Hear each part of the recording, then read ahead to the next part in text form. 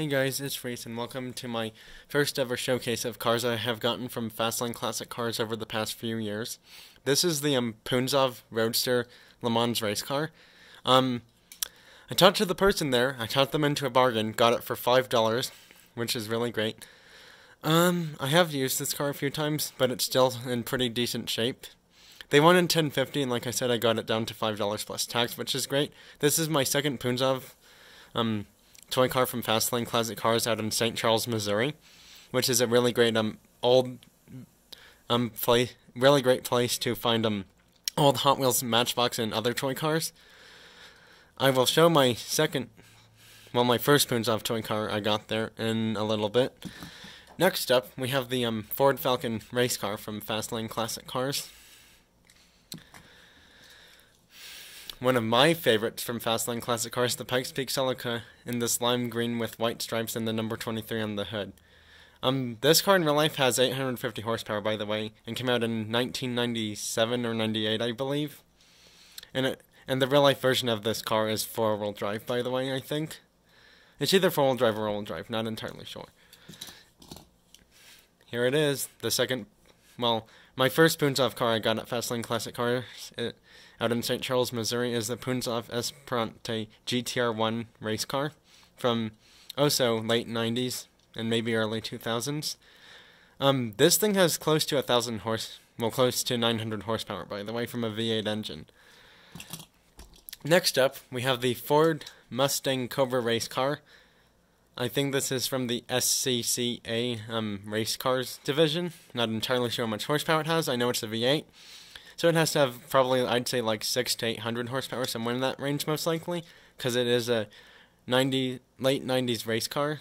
Well, mid late 90s race car. Next up, we have the Mercedes Benz CLK DTM Hot Wheels car. This is not the race car version. Apparently, it's the road going version.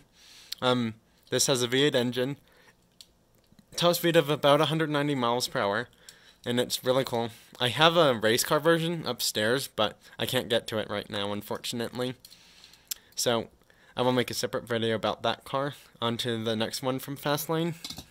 Is the um, Maserati MC12, and I have been looking for this thing for a very long time, and I'm so glad I got it at Fastlane Classic Cars, like, I think one or two, two or three years ago, which is really great. Um, this is my first Maserati MC12 Hot Wheels toy car. If you don't have it, I'd recommend finding it. Like I said, this one was found at Fastlane Classic Cars in St. Charles, Missouri. Um, if you go to antique stores, you might find this one there too. Antique stores or malls or like farmers markets sometimes seem to sell old Hot Wheel cars, which is really cool. The next one is the Hot Wheels Ferrari 333 SP Le Mans race car. This is one of my favorite ones I've gotten from Fastlane. I didn't know that this was a Ferrari until I looked at it carefully, and um, since Hot Wheels doesn't have their Ferrari license anymore, this car in mint condition is going to be a lot of money. Sadly, I've already used it, as you can tell by the tire and wheel wear right there. But besides that, it's a great toy car from Hot Wheels. Too bad they don't make Hot Wheels Ferrari cars today anymore. Next up, we have the Mercedes-Benz um, 500 convertible. I think it's the 500 SL or something like that, Mercedes-Benz convertible. This is a really cool casting, I will say, from Hot Wheels that I also got from Fastlane Classic Cars. Um, it shows it's in a um, four-seater, which is really cool. Although, actually, no, it's a two-seater. My bad. It's a two-seater, not a four-seater. Sorry for that mistake there. um, in case you're wondering why um this video is going a bit long, it's because there's a lot of toy cars and um my allergies are not making me feel really well, so I'm trying to slow down to pronounce things. Um this is the MG Roadster from Matchbox, also another car I got at Fastlane Classic Cars, really cool in this dark green color. If you don't have it, I'd recommend getting it. This thing is pretty fast on my Hot Wheels 4-lane track and Hot Wheels 6-lane track. Next up, we have one of two of the Pikes Peak Toyota Tacoma hill climb cars from Hot Wheels. These have a close to 1,100 horsepower, by the way. Not even from a V6 engine, but like a really high horsepower, like inline some inline four or six cylinder engine, by the way. Next car is the um, Ferrari 250 LM. Really great car from Hot Wheels. Too bad they don't make Hot Wheels Ferrari cars anymore. Great casting from Hot Wheels. And this one was found only at Fastlane Classic Cars. I'm not sure if antique stores or malls will have this one, but if they do, I'd recommend buying it. Next up, we have the Maserati Quattroporte sedan. This is my first Hot Wheels Maserati Quattroporte sedan in this cool blue color. Um, I only recall seeing one of it there when I was at Fastlane Classic Cars out in St. Charles, Missouri. But um, pretty decent casting. I don't know if I'd recommend people buying it, but if they are Maserati fans for toy cars for Hot Wheels or Matchbox, then you should definitely get this one. Next up, we have the recolor of the Pikes Peak Celica in this cool yellow color, also with number one, but it has um, Pentel on the hood instead of the number. It says Pentel on each side, um, and it has an um, black underbody that tells you the car and when it was released. Next up, we have this old Mercedes-Benz 500 sedan from Hot Wheels, another great car that I got at Fastlane Classic Cars. Next one is the um, GMC Motorhome from Hot Wheels. Um, this is a really cool casting for um, any RV fans or GMC fans or General Motors toy car fans for Hot Wheels or Matchbox. I'd highly recommend getting this one. I'm not sure if they make any newer ones of this, but if they do, please let me know. That would be great. But this was only found at Fastlane Classic Cars. Next, we have the um, Mercedes wagon. Um, I'm not sure which wagon this is.